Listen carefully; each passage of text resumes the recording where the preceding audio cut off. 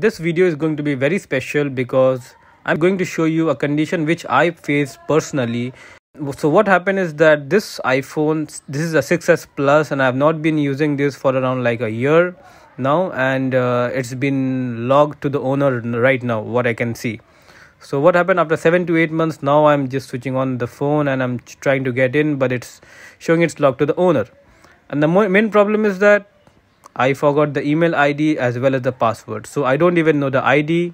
I don't even know the password. I don't even know the email that I that I used to create my Apple ID. Uh, and regarding like what are the things that you need to check before you buy a used iPhone, I will uh, make a video on that, uh, a separate video for that. So make sure you uh, subscribe to this channel and watch the video till the end. I will be teaching you how to fetch your iCloud ID that means the apple id if you have just forgotten the apple id completely and obviously the password as well you have just forgotten the apple id the password everything. So make sure you watch the video till the end and comment whatever you think you want to ask and i'll be very happy to answer you.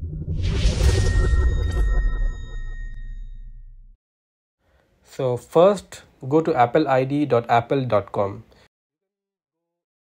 you can use your laptop or you can use your iphone for this process so anything is just fine.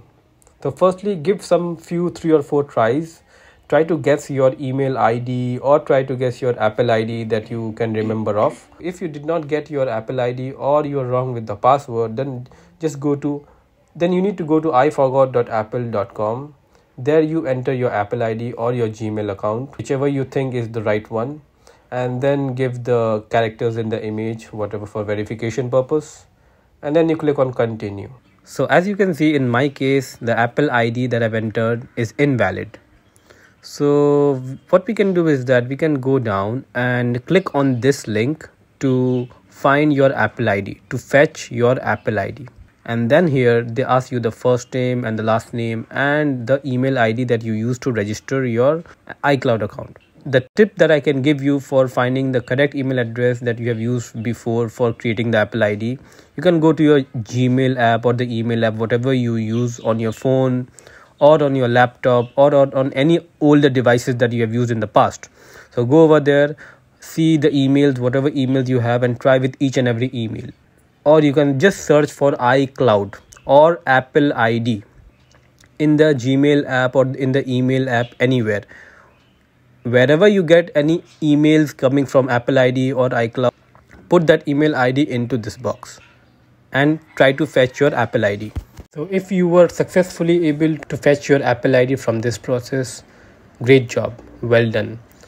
But in my case, it was something different. I was completely unable to find my Apple ID and I just completely lost access to all the emails that I had before or I just completely forgot it. Something came into my mind and if you see the activation lock page, it will show you your maybe the last few digits of your Apple ID or maybe the first few digits of your Apple ID. So try to guess what can be the Apple ID from there. So in my case, it was showing my mobile number. So this made me think that maybe in the past I have used my phone number for creating my Apple ID or instead of the emails. So I tried with my number as my Apple ID. So I tried using my number as the Apple ID to reset the password. Again saying you can use both your laptop and your mobile phone. Anything is fine. Now I'm on my laptop and, and now I will be using my phone number as my Apple ID. And let's see if that is my Apple ID so that I can reset the password and get access back to my account and there you go. So i am successfully able to get into my icloud account and i now i can reset my password. So for resetting the password you have to get an iphone.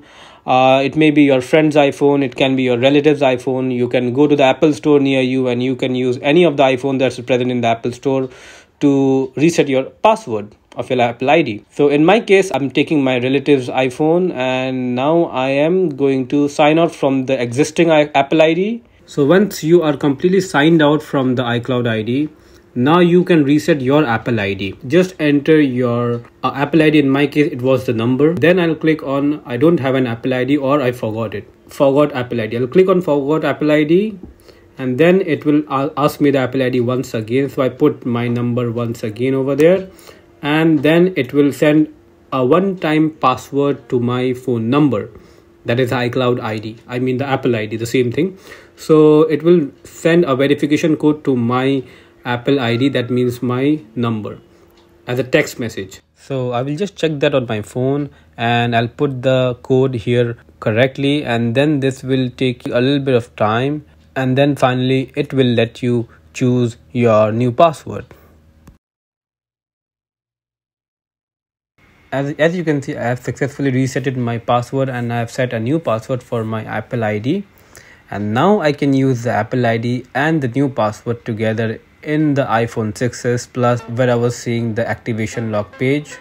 And then I can get into it. And now hopefully we will remember our passwords more carefully from now on.